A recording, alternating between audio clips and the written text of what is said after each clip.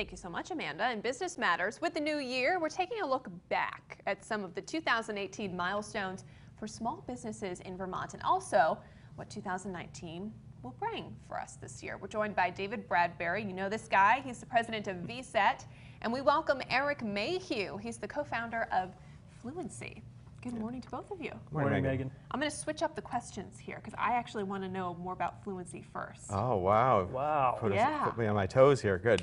What do you want to know? We're keeping it, you know, snappy here. Excellent. What is Fluency? So Fluency is a, a startup that we that four of us put together about a year ago. Mm-hmm. So there were four of us that were friends that had worked together in the past, or e- even some of us have been to- together and friends for 25 plus years.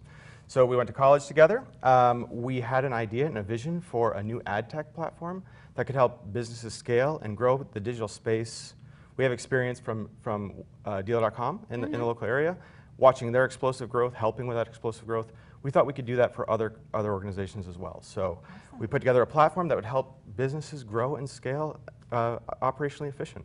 That's great. Cool. And how do these businesses use these tools that you've given to them and So- provided to them? Fluency is a software platform. It took a lot of work to get it to where it is today. Mm-hmm. Sure. But it's, pr- it's pretty cool. And you can actually operate your entire business. It's, it's effectively advertising, an advertising business in a box. Okay. But what's cool about it is, in comparison to other platforms that are out there, um, you can really define your own business rules. So the way you want to execute digital advertising, uh, you can express that within the tool, and then it operates for you. So it, it reduces the manpower required to do digital advertising quite a bit. Uh, one of the things that I think was really, really cool is over the holiday weekend, a lot of, there's a lot of changes that happen in digital advertising, and there, were, Right. there were requirements for uh, employees to come in and do work. We were able to automate all of that work and give people back their holiday, and, and that was the thing that makes me pretty smile a lot.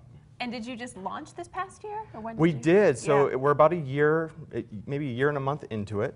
But as you can imagine, with a tech company and an Right. enterprise software tool, it takes a while to build. So we have about six months with customers on it. Um, we are growing a lot right now, Mm-hmm. and it's very, very exciting to see different use cases, customers using the tools, and finding new opportunities that we can unlock for them. Um, so it, it's been it's been a great year. Awesome. We've got, Congratulations. we've got a ways to go still, but it's it's a great year. Hey, nowhere to go but up, though. Absolutely. And that brings me to my next question. It's a beautiful segue into the entrepreneurial growth of 2018, David. Yeah, um, I think 2018 was uh, was a real uh, seminal year here for, for startups and scale-ups uh, around Vermont. Certainly at VCET, what we see is the sort of largest center of, of, of these companies. Companies like Fluency started with zero folks. They've got maybe 10 or 11 right now, 10, yeah. right? Customers and and I think uh, the real change this year has been a real focus on early revenues, getting customers really at the outset versus borrowing or taking outside equity to sort of fund losses and development. Really start with a customer, a specific problem, and then build a solution they're willing to pay for from the outset. And I think that will define how things go go forward for, for a lot more businesses than in the past. Yeah, and speaking of going forward, what do you see in 2019? I mean, what's the horizon looking like for startups and entrepreneurs this coming year? Yeah, I mean, I think uh, I'm very encouraged by sort of one the, the resources that are available. There's more infrastructure around Vermont. You've got uh, Springfield, uh, BRIC, the, the Innovation Campus, the Due North Center in Lyndonville that open, VCET, study Hall. So there, there are places for folks to gather with investors, to to collaborate, um, to uh, bring in new hires. So. I think that will buoy things. Um, you know, unless the stock market uh, collapses here fully, um, we'll still see uh, a continuation in angel money.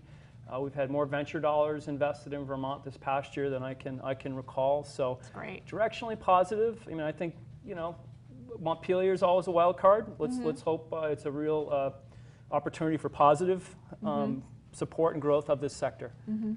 Awesome. You guys, thank you both so much. Absolutely. Congratulations once again. Yeah, Well, hey, thank you. Thank you. David, always good to see you. We'll be right back.